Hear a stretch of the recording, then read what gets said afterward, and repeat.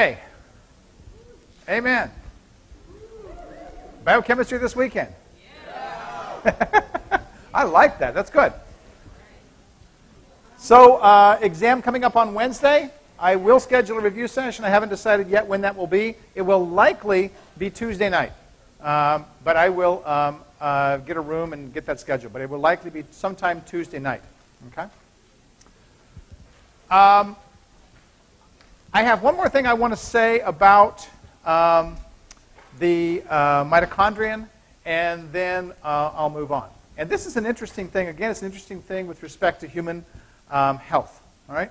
So, um, you saw what happened last time, how metabolic control, obviously, all these pathways and so forth are interlinked.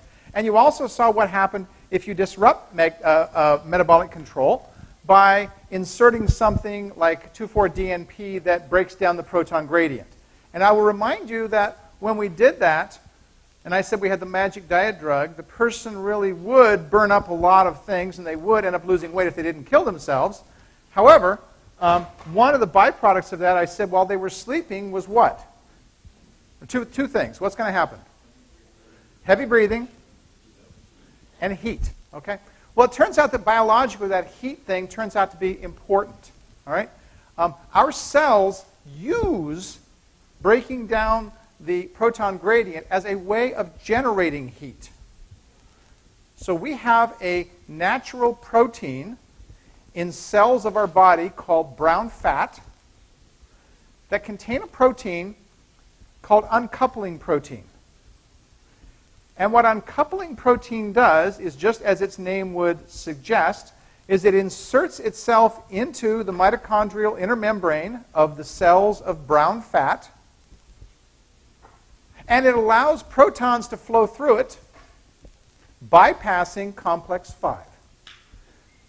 And exactly what happened with 2,4-DNP happens in those brown fat cells. They start burning up fat, they start burning up any sugars that they have, and the heat rises. Okay? Well, they don't do it forever or they would all die, but they do that for a period of time until the heat rises. And when the heat rises, there's a very important reason that brown fat cells do this. Okay? If we look at the location of brown fat cells in our body, and I think I've got a figure that shows that, if we look at the location of brown fat cells in our body, we see that they are disproportionately in areas where we have a lot of nervous tissue. Okay? So one of the things that they do is they help keep important things like nerve cells and other cells warm. So you have a built-in mechanism to do that. And if you think about that, that's really important because nerve cells, in particular, are sensitive to temperature because they are sensitive to the diffusion of those ions through the nerve cells. If you lower the temperature, you will slow the rate of diffusion. And if you slow the rate of diffusion, you slow the rate of transmission of a nerve cell. You can't afford to leave the finger in the flame for too long. You want to have those nerve cells working very quickly. So brown fat is really kind of cool in that sense. All right? The brown fat can be plugged up, all right, um, by um, uh, the uh, fatty acid known as palmitate. Palmitate will plug up those holes and keep the brown fat, uh, keep the, the uncoupling protein from letting more protons in. So the uncoupling protein is, I, I'll back up and say that correctly. The uncoupling protein is plugged by palmitic acid. Okay? Pretty cool stuff. Pretty warm stuff, as the case may be. All right. Um, uncoupling protein right there. And you can see exactly, it's called UCP. You can see exactly what it's doing. Right? So it's bypassing this synthesis of ATP and the cell starts up its citric acid cycle. We'll see it starts up its fatty acid oxidation uh, uh, next week, and uh, the cell is off and running. The proton gradient is not a trivial thing just for making energy. Cells use proton gradient to do a variety of things. I'm not asking you to memorize these or anything, but it just shows you that some of the very useful things that come about from a proton gradient. You've seen the heat production, you've seen the synthesis of ATP, Bacteria can use it, and other cells can use it to move their flagella.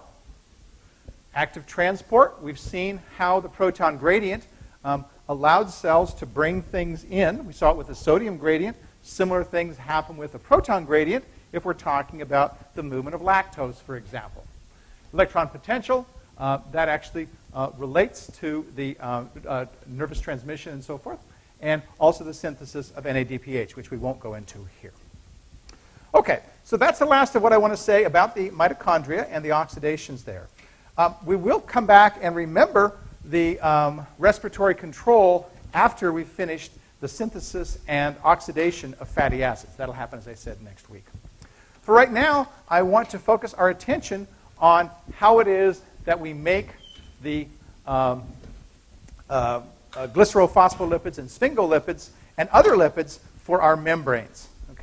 So I'm going to go through this kind of quickly, and I go through it kind of quickly uh, mostly because I'm not asking you to memorize specific structures here. I'm asking you to, to learn some general things, and these are very general things about how these pathways operate. Okay? Okay, so um, I'll remind you that glycerophospholipids are one type of lipid that we find in our lipid bilayers. Sphingolipid is a second. Cholesterol is a third. Okay? We also know there are proteins in our lipid bilayers as well. Phosphatidic acid is a molecule that I referred to um, earlier. Phosphatidic acid, I'll remind you, has a glycerol backbone. It has two fatty acids attached to it and it has a uh, phosphate attached to it. So it differs from a fat in that a fat, and here's the final phosphatidic acid down here on the, on the lower right, okay? It differs from a fat in that it has this phosphate instead of a third fatty acid. Okay? Phosphatidic acid is a precursor of the glycerophospholipids. It's also a precursor of fat. So cells actually make phosphatidic acid en route to making fat. So they'll make this compound, then they will pull the phosphate off and replace it with a fatty acid, and bingo, they've made fat. If they're making a glycerophospholipid, instead of pulling the phosphate off, what they will do is they will attach something to that phosphate. Okay? That creates what we call phosphatidyl compounds. So we talked earlier about phosphatidyl serine, phosphatidyl ethanolamine. So phosphatidylserine would occur, would would be made by putting a serine onto this phosphate at the end. Phosphatidyl ethanolamine, similarly we put ethanolamine out here. Quite a wide variety of things that we could put on that. Now the reason we make the phos- we make um, molecules like this is that they are essential for the structure of the lipid bilayer. Right? These things made in the way that I'm describing to you will self-assemble into a bilayer. So there's nothing extra that the cell has to do to make a simple bilayer. Now cells do mix and match things and so forth there, so that's uh, a simplification. But nonetheless, this basic structure is important for cells to be able to make a, a bilayer. Here's the, yes?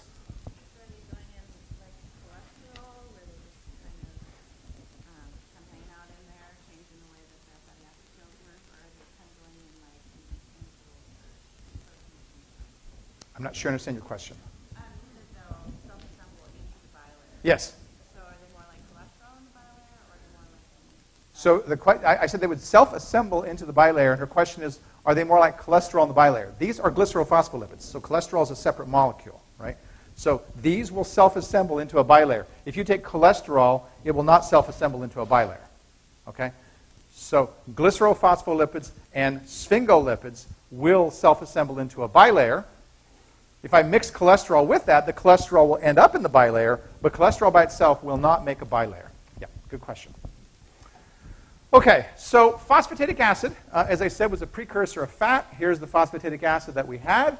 Here is the removal of that phosphate, making something called diacylglycerol. Where have you seen diacylglycerol before? Signaling last term, right? It was one of the signaling molecules in the membrane. So diacylglycerol could be a, a signaling molecule. It's generally not made this way en route to be, being a signaling molecule. Instead, that, that signaling molecule, diacylglycerol, is made by the way we talked about last time from IP3, or P, I'm sorry, PIP2 to make IP3. Um, Diacylglycerol uh, made in this way is converted into fat very easily by simply putting uh, a fatty acid in an, in an ester form at position number three. And we've done that, we've made a fat. Now, fat is something that's only found in um, specialized cells called adipocytes. Okay? So our normal cell, our, our, our cells of our skin and so forth aren't repositories of fat. We have specialized cells called adipocytes that are for the storage of fat, and that's where we find those fat molecules.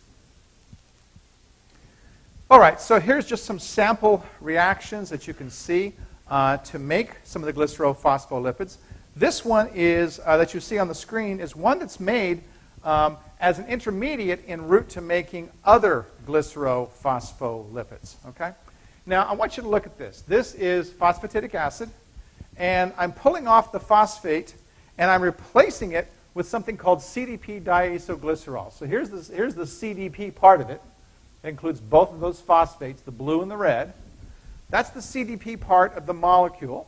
And there's the diacylglycerol part of the molecule in black. As I said, this is an intermediate en route to making many of the glycerophospholipids. Why do you suppose cells are making something like this as an intermediate? Activated intermediate. Okay, very good. You saw UDP glucose as an activated intermediate en route to making glycogen. And that activated intermediate was something that had high energy, and it used the energy of, that, of itself to donate a part of itself to something else. This guy is using the high energy of this bond to donate this black part onto something else, like a serine or an ethanolamine, to make that bond. So making that bond requires some energy, and that energy comes from the energy inherent to this molecule right here. Okay, now we can um, see, for example, uh, the addition of inositol. Okay, so inositol plus CDP diacylglycerol gives us phosphatidylinositol and CMP. Notice that. One of the phosphates stayed behind, the one in red, and the other phosphate came off with this guy. So in essence, to get to this place let me show you what we had to do. We had to go from CTP, a triphosphate, to CDP, a diphosphate. That tells you energy was put into this molecule because a phosphate was cleaved and getting it to that point. And then additional energy was donated to make the final molecule here of phosphatidylinositol and CMP. So basically, we've cleaved two phosphates in order to make this guy right here. The other thing I'll point out to you about this that's interesting is now we have a role for all of the nucleotides in making uh, biological compounds. All right? We had UDP glucose needed to make glycogen. We have CDP diacylglycerol used to make the glycerophospholipids we have ATP used for general energy purposes. And I've told you that we use GTP as a way of making proteins. All four nucleotides are intimately connected to metabolism. And that turns out to be really, really cool. Because the synthesis of DNA requires energy it requires nucleotides, and it requires all these compounds that are being made with them. It requires proteins. Ideally, for many cells, it requires glycogen. It certainly requires glycerophospholipids. Okay? If we don't have enough nucleotides, we won't have enough of these compounds that we need to go forward. So therefore, the cell won't divide. And if we have plenty of these compounds, and plenty of the energy, plenty of the, the nucleotides to make these compounds, then the cell does have enough energy and it will be able to divide. Pretty cool. All right? So measures of the nucleotides really give cells a very good measure of their energy assessment and their energy abil- their abilities to use that energy going forward. Okay. Questions about that? Passive group today. Okay. Um, we don't need to worry about that.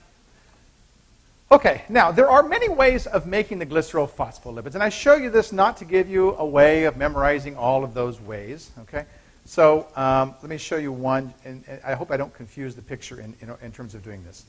I showed you how, excuse me, how I could activate the diacylglycerol and use that activated diacylglycerol to add to something else.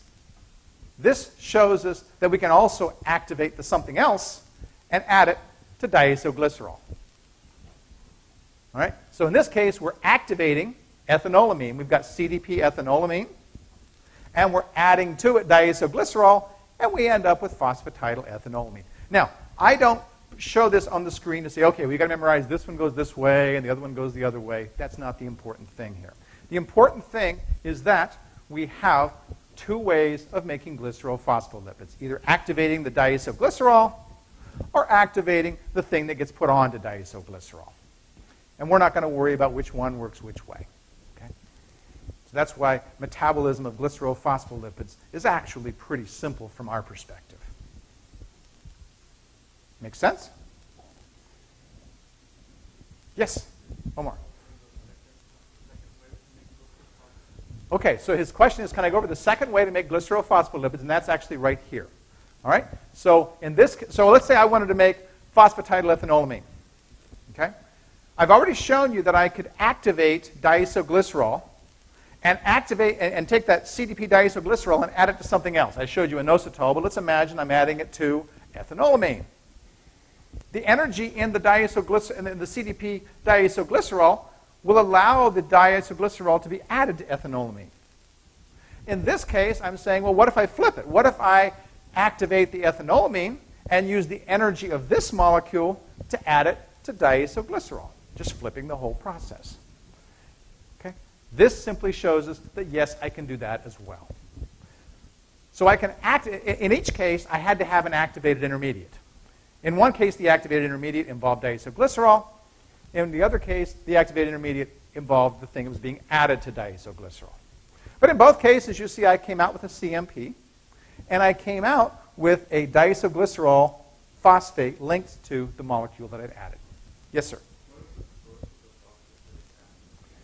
What is the source of the phosphatidic acid? Phosphatidic acid. so I've already made phosphatidic acid, right? So remember I can make phosphatidic acid by starting with glycerol, fatty acids, and, and ATP to put the phosphate on. Okay? Okay. That is summarized, summarizing how we make phos, um, phosphatidyl compounds. All right? All right. Sphingolipids are made in um, a little bit different fashion because they are different molecules, even if they do resemble the glycerophospholipids. Okay? Sphingolipids look like they come from this molecule on the screen, which is where they get their name. In fact, they don't come directly from this compound, but we sort of forget that. All right? We sort of forget that. They're related to sphingosine. If you know that, that's good enough. All right? Well, how is it that we make the glycerophos- uh, I'm sorry, we make the sphingolipids? It turns out we make them from two things laying around the cell that are very abundant. One is a fatty acid, palmitic acid. In this case, it's linked to uh, CoA to make palmitoyl CoA. And the other is the amino acid serine. If we do that, we create something called a ceramide. Okay? I'm sorry, we, we, haven't created the ceramide yet, but we've, we've put these together into making a, the first of the sphingolipids. I'm not asking you to memorize these names. I will ask you to know what a ceramide is, and I'll tell you what that is in a second. So the, the synthesis of sphingolipids requires as precursors palmitoyl-CoA and the amino acid serine. Those get manipulated in a couple of reactions, all right, to produce something called a ceramide. What is a ceramide? Okay?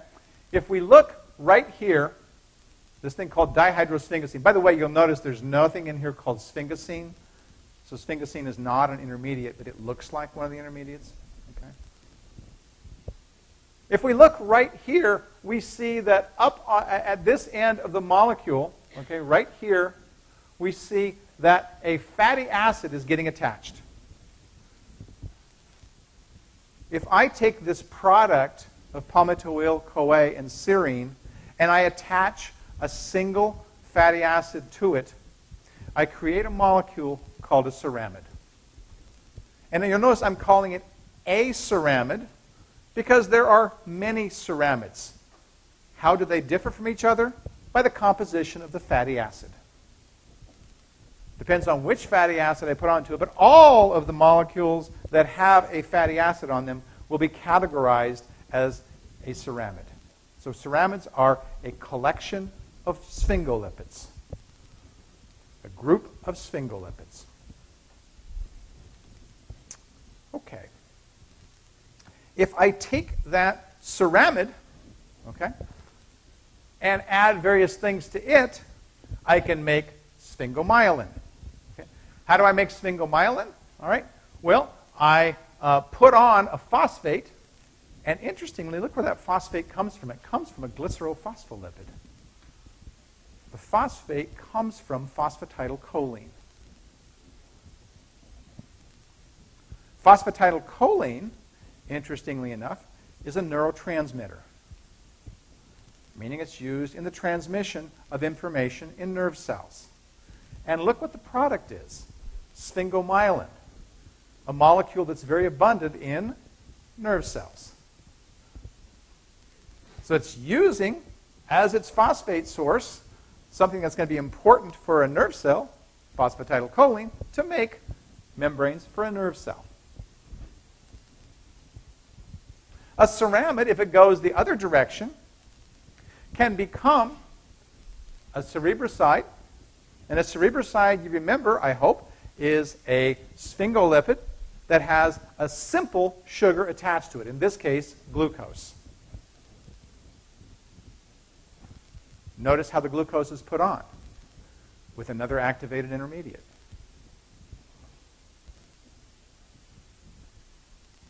If I take and I put additional sugars onto that glucose, I make a more complicated, more complex sphingolipid. The category of these are known as gangliosides. So in each case, ceramides are a category or class of sphingolipids. Cerebrosides are a class of sphingolipids. And gangliosides are a class of sphingolipids. And their class is because they all differ in the composition of the fatty acid. They may differ in the composition of the simple sugar, and they will definitely differ in the composition of the complex uh, carbohydrate out there as well. Okay, notice adding those sugars requires activatedness. And if I said you're adding an activated sugar, what would you think would be attached to it? A nucleotide of some sort. Usually UDP, but it could be GDP as well. Yes? Can you only make a ganglioside from a cerebroside? The answer is basically yes. Okay? Um, that is, that you need to have something on there to get started before you add to that. Now, the addition of and, this, and the breakdown of addition of sugars to make gangliosides and the breakdown of gangliosides is the source of many genetic diseases. And the genetic diseases frequently result in uh, problems neurologically. In many cases, they may result in retardation due to difficulties in being able to properly make things for the, the nerve tissue. One of these is something called Tay Sachs disease. Okay? And Tay Sachs disease, well, actually, uh, let me back up to that. Uh, Tay Sachs disease is a disease that has many different manifestations. You can have Tay Sachs disease uh, that manifests at birth, that manifests later in life, in teenage years or even manifests uh, as an adult. The ones that manifest at birth are the most severe and may uh, likely result in early, very early death. Um, this shows um, a, um, a, ganglioside that is um, uh, common in um, uh, neural membranes. And if we look at, I thought I had the me- metabolic pathway here, but I guess I don't. Uh, if we look at defects in breaking this guy down, we will um, end up with accumulation of this in membranes, and the accumulation is just as bad as a deficiency. Accumulation results in abnormal nerve cells and cause problems. Interestingly, uh, as I said, there are many uh, genetic defects in uh, the metabolism of gangliosides because all those different, there are many different enzymes involved in putting individual sugars on, and there are many, many different sugars that are put onto uh, the glucose in gangliosides, and breaking them down. So both ways we end up with that. As I said, one of the manifestations of that is Tay-Sachs disease, and that's a very uh, debilitating genetic disorder. This is, the, this is the reaction that's deficient in Tay-Sachs disease. It's unable to break down the uh, N-acetyl galactose off of this guy. And again, I'm not asking you to memorize the structure, so don't sweat this. But uh, you can see that this one simple reaction here in the breakdown of a ganglioside is, um, has some very severe uh, um, uh, manifestations, as I said. Okay. Um, questions about that? Yes, sir.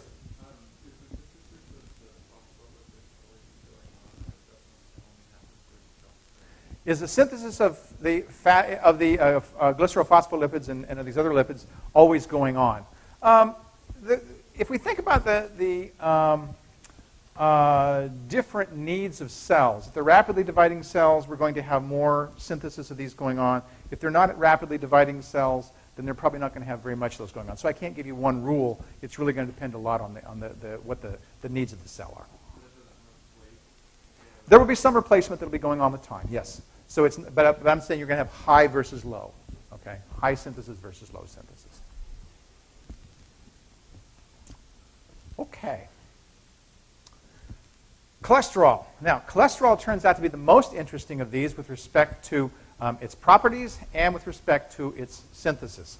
I am going to uh, go through its synthesis here and talk a little bit about um, its properties. And um, I um, will also skip over uh, some of the regulation of that. I'll talk about the regulation on Monday. But I do want to get into some of the transport, if I can, of this because it's really fascinating what happens with cholesterol in the body. Um, as I've told some of you, uh, cholesterol is a molecule we don't know really that much about, even though we've been studying it for well over 100 years. There have been five Nobel Prizes given for studying cholesterol, and there's still a lot about cholesterol that we don't know. Okay? Cholesterol is made in a very interesting, simple set of reactions. What you see on the screen is the structure of cholesterol. And what you also see is the precursor molecule for cholesterol. Cholesterol is made from, completely from, acetyl-CoA. Here's the acetyl part of acetyl-CoA. We see the carbonyl carbon shown in pink. We see the uh, methyl carbon shown in blue. And we see where all those carbons end up in this molecule. It takes a lot of acetyl-CoAs to make cholesterol. Okay? But every carbon in that cholesterol molecule came from one of these carbons in acetyl-CoA. We're going to see how that happens. What you see on the screen is a synthetic pathway involved in making cholesterol. Okay? Now, we're going to talk more about this reaction later, but I'm showing you this on the screen because it's necessary to see this to understand the synthesis of cholesterol. Okay? Here's something called acetoacetyl-CoA. Acetoacetyl-CoA is made very simply. It's made by putting together two acetyl-CoAs. You split out a CoA and you get acetoacetyl-CoA. Our body makes this all the time, and it makes it for a variety of reasons. It may make it for the synthesis of cholesterol. It may make it for the synthesis of some compounds we'll talk about later called ketone bodies. But nonetheless, acetyl-CoA comes from two acetyl-CoAs. And as I said, we'll see this reaction again later. Acetoacetyl-CoA, if I combine it with a third acetyl-CoA, makes something called 3-hydroxy 3-methyl-glutaryl-CoA, or something you're more likely to remember as HMG-CoA. Okay? HMG-CoA. All right. Now, if I take that HMG-CoA and I convert it into this molecule called mevalonate, I use an enzyme called HMG-CoA reductase. That's a very important enzyme name, so I'm going to repeat it. HMG-CoA reductase. By going through the pathway up into green using that enzyme, this 6-carbon HMG-CoA is targeted for the synthesis of cholesterol.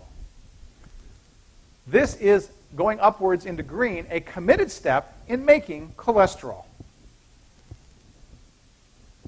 If, on the other hand, this HMG-CoA runs through the bottom reaction that we'll talk about later, okay, it makes ketone bodies.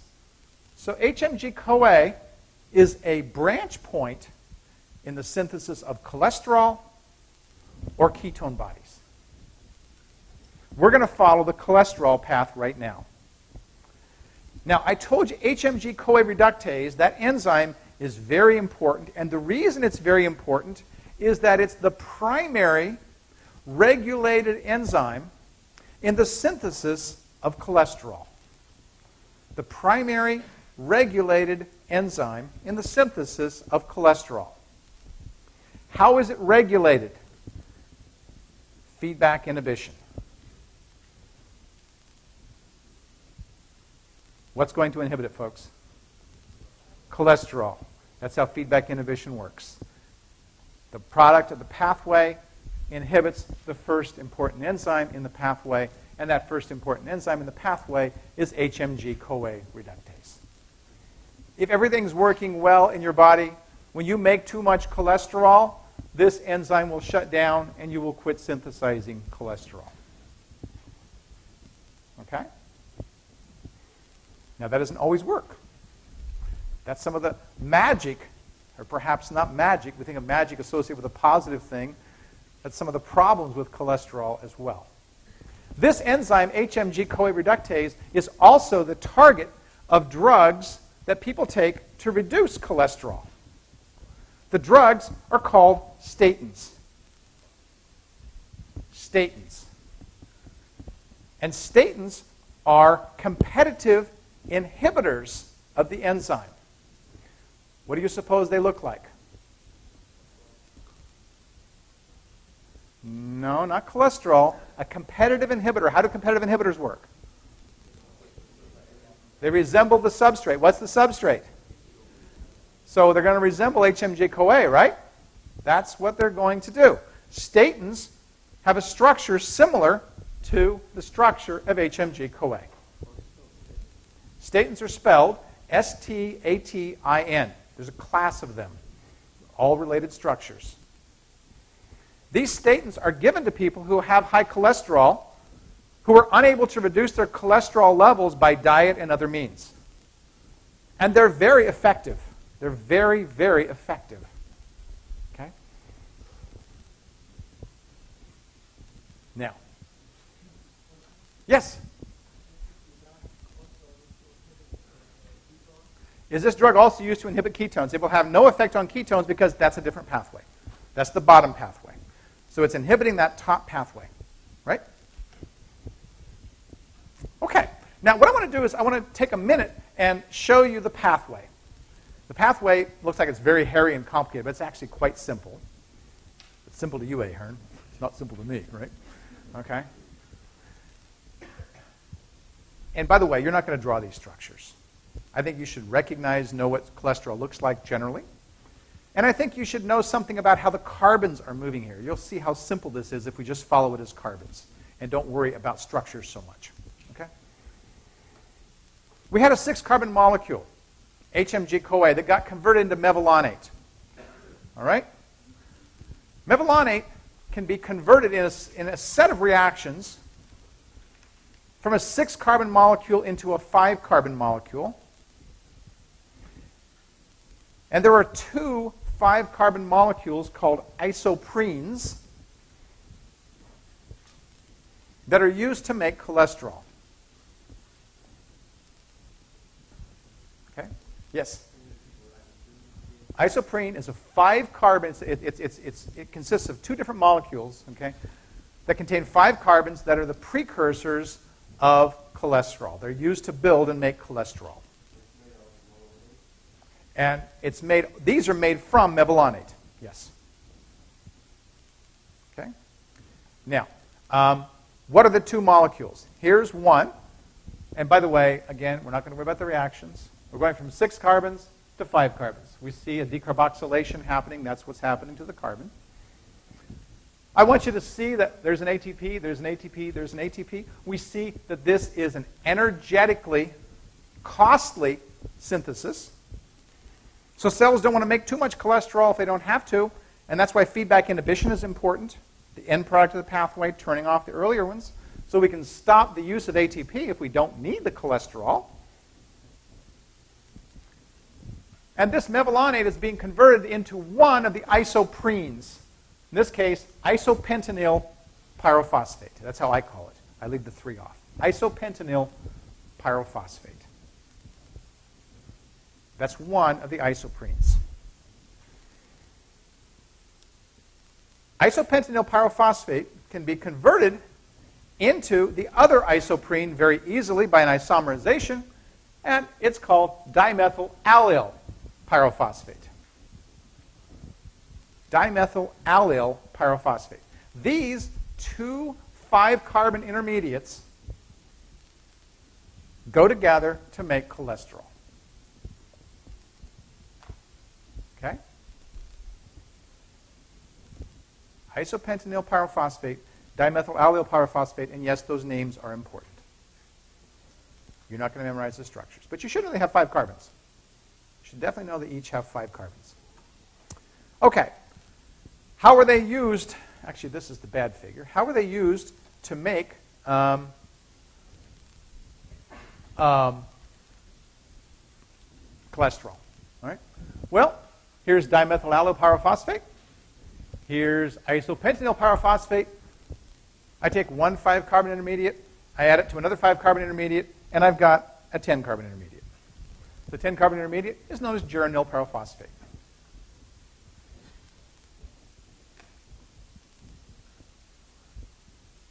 I take the 10 carbon intermediate and I add another 5 carbon intermediate, and I get a 15 carbon intermediate, known as farnesyl pyrophosphate. These are like building blocks. 5 plus 5 equals 10, 10 plus 5 equals 15. And farnesyl pyrophosphate, if I take two of those and combine them together, I end up with something called squalene that has 30 carbons. Very simple.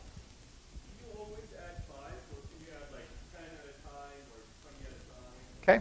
So his question is, can you all, are, are five always added, or can you add 10 at a time, or otherwise? Um, there are other pathways besides the ones I'm showing here that can lead to other compounds like vitamin A and vitamin uh, C, uh, I'm sorry, vitamin E, all right, that may involve addition of other things. But for the synthesis of cholesterol, this 10, 5 plus 5 to make 10, 10 plus 5 to make 15 is critical. You do take two 15s to make a 30. Okay? Squalene is the, what I call the last of the linear intermediates. You see there are no rings here yet. This is a linear molecule. It's got a bunch of double bonds in it. But squalene is rearranged with those double bonds. Here's what squalene looks like. And if I start twisting these bonds around, it starts to look like what cholesterol is going to look like. I see the various swaps of electrons, the new bonds forming, and bang, I've got something that resembles cholesterol called lanosterol. Lanosterol is what I call the first cyclic intermediate. So I go from the, la the last linear to the first cyclic. Now, I doubt that any of you here memorized that structure of cholesterol from what I showed you earlier, but I'm sure you can recognize that this looks very much like cholesterol. All right? It would seem that we have to go just a little bit to get to cholesterol and we would be there. But in fact, to go from here to cholesterol requires 19 more steps. Is he going to make us learn 19 more steps? I mean, he's an idiot, right? Okay? When I was a graduate student studying metabolism, I had to learn all 19 of those steps. I swore I'd make my students do that at some point. But I'm not going to make you learn that, okay? All right. But 19 steps to go from lanosterol to cholesterol, okay? Many of those steps require energy. So we've already seen to go from mevalonate to, um, um, I'm sorry, to go from, um, uh, yeah, mevalonate to uh, uh, isopentenyl pyrophosphate required three ATPs. We've already invested a fair amount of ATPs because that was to make one 5 carbon intermediate. We've got six of them in there. We've burned 18 ATPs just to get to squalene. We're going to burn more ATPs to finally get to cholesterol. The synthesis of cholesterol is very energetically demanding of cells. Cells want to be careful not to make too much or they're wasting energy. Okay? That's probably the way you're going to learn this. Lanosterol, 19 steps, cholesterol. Okay? Everybody now laughs. That's good.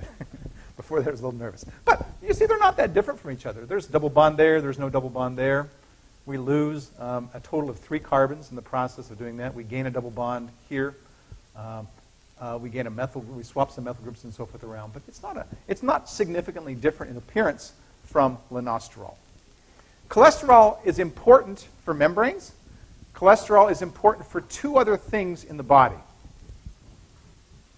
It's important for the synthesis of steroid hormones. Steroid hormones.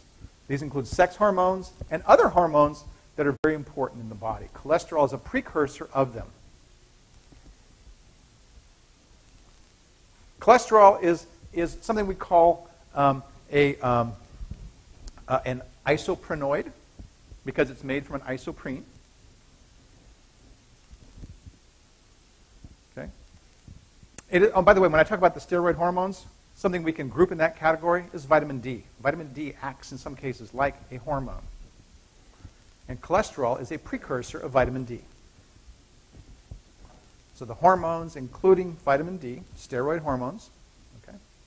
the second thing that cholesterol is important for is the synthesis of bile acids. Bile acids turn out to be very important, as we'll, we'll describe next week, or uh, probably on Monday. Bile acids are important in the process of digestion. They help to emulsify fat in our digestive system because they act like detergents. And I'll show you how that happens next time. I'm not going to talk about it here. Bile salt, bile acid, same thing. So the salt is simply the, the salt form of an acid, yes. Bile salt, bile acid. I use the terms interchangeably. Okay. That's pretty cool. All right. Um, questions about that? Yes? Was there, oh, yeah, question.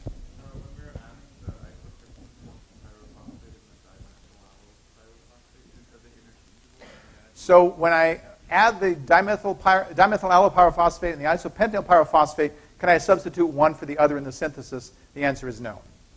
But I'm not going to ask you to tell me which one goes in where and so forth. All right?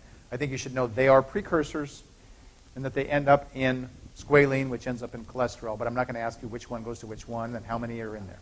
I think that's trivial. Okay?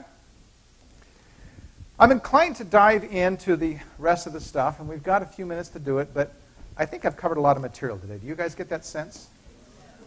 I'll make a deal with you. Question first. Yes.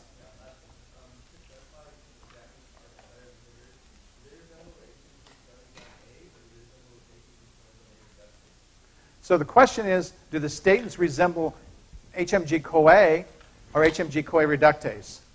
What do competitive inhibitors look like, folks? Substrates. So which one's the substrate? HMG CoA. So a competitive inhibitor would never resemble an enzyme. It, it couldn't do that. Right? Make sense? Okay, so the deal, yeah. Shh, shh, shh.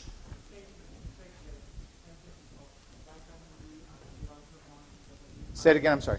If I use the drug statin, Yes? is that will lead to side effects uh, about of vitamin D or steroids? Oh, good question.